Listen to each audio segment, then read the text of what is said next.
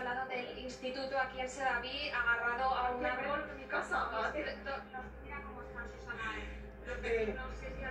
Esto no, no, no hay para dónde cogerlo. La verdad que la gestión de este gobierno, de todos los gobiernos, que estáis arriba, que estáis arriba, la puta cúspide, no estáis haciendo nada. Y voy a deciros otra puta cosa.